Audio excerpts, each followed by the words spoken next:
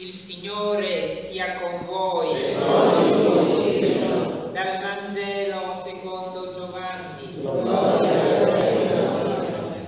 In quel tempo la folla disse a Gesù, quale segno tu compi perché vediamo e ti crediamo? Quale opera fai?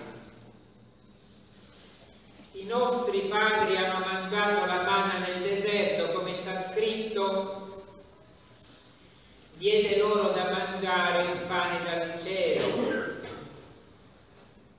Rispose loro Gesù, in verità, in verità io vi dico, non è Mosè che vi ha dato il pane dal cielo, ma è il Padre mio che vi il pane dal cielo, quello vero. Infatti il pane di Dio è colui che discende dal cielo e dà la vita al mondo. Allora gli dissero, Signore, dacci sempre questo pane. Gesù rispose loro, io sono il pane della vita. Chi viene a me non avrà più fame, chi crede in me non avrà più sete. Parola del Signore.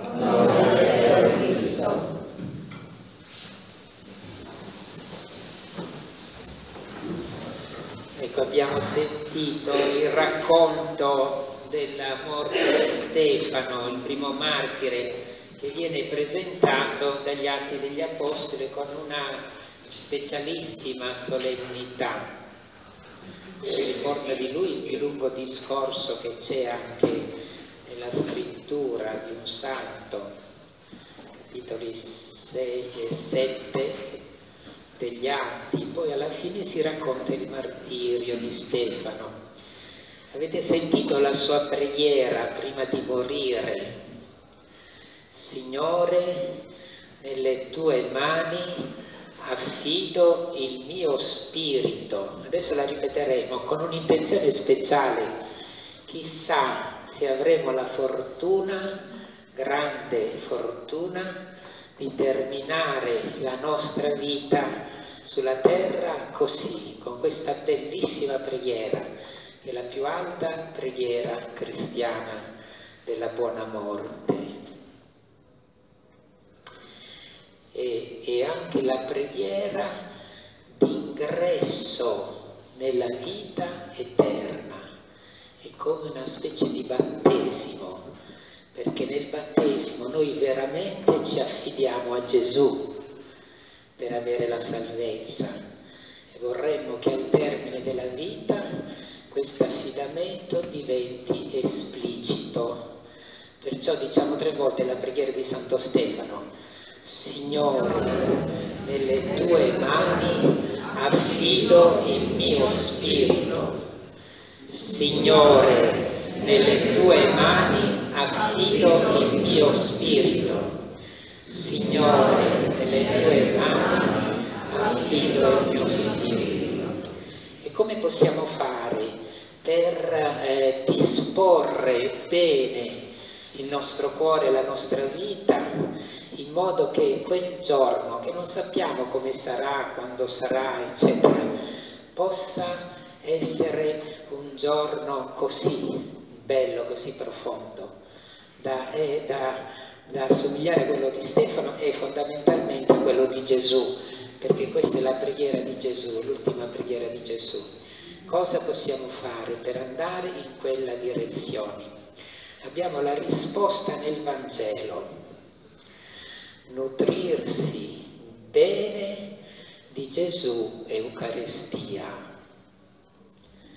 Nutrirsi bene di Gesù Eucaristia, perché questo sentimento, che non è solo un sentimento, è proprio un atto d'amore profondo con cui affidiamo la vita a Dio, è l'atteggiamento proprio di Gesù.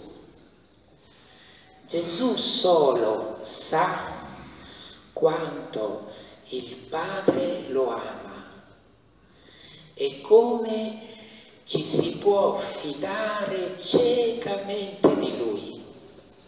sia di giorno che di notte, quando capiamo le cose e quando non si capisce nulla nella nostra vita, quando siamo nella pace e quando siamo nella tribolazione.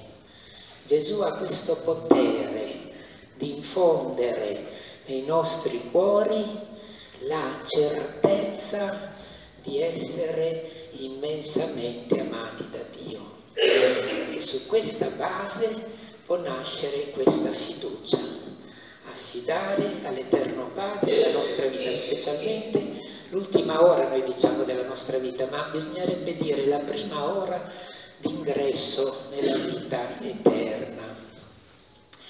Allora nutrirsi bene dell'Eucaristia, nutrirsi bene dell'Eucaristia, perché è proprio attraverso l'Eucaristia che Gesù entra in noi e ci dà il suo spirito, ci dà la potenza di amare come ama Lui, ci rende capaci di amare.